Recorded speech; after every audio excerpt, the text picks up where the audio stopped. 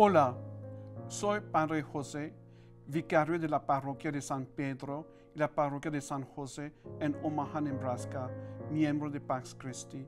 En el nombre del Padre, del Hijo y del Espíritu Santo. Amén.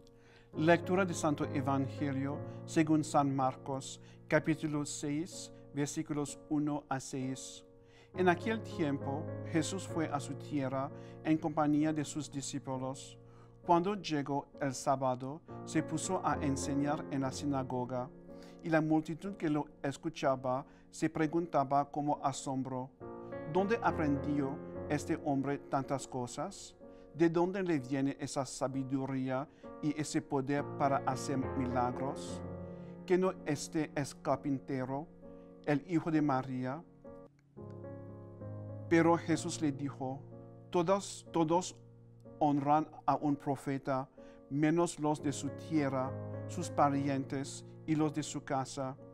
Y no puedo hacer allí ningún milagro, solo curo a algunos enfermos. Luego se fue a enseñar en los pueblos vecinos. Palabra del Señor. Esta lectura puede recordarnos lo difícil que es para algunos de nosotros tener que defender la fe, especialmente entre los propios familiares. Por ejemplo, cuando recordamos a nuestros familiares o amigos que deben ir a la misa con regularidad o casarse por la iglesia, no es fácil. Defender la fe es importante para nosotros, pero necesitamos hacer como Jesús. Necesitamos hacer eso con amor, pero necesitamos hacer eso. No, es, no va a ser fácil.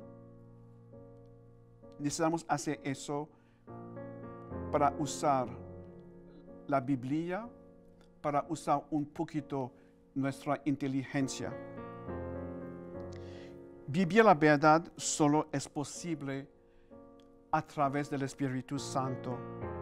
Si animamos a las personas a comprender al Espíritu Santo, podrán vivir la fe más fácilmente. Yo le animo que ustedes pueden hablar con sus familiares, especialmente de esta ah, ah, parábola de Jesús, esta enseñanza de Jesús, que Jesús tiene dificultades para defender la, la verdad. No va a ser fácil para nosotros, pero necesitamos defender la fe. Necesitamos aprender nuestra fe y compartir la fe.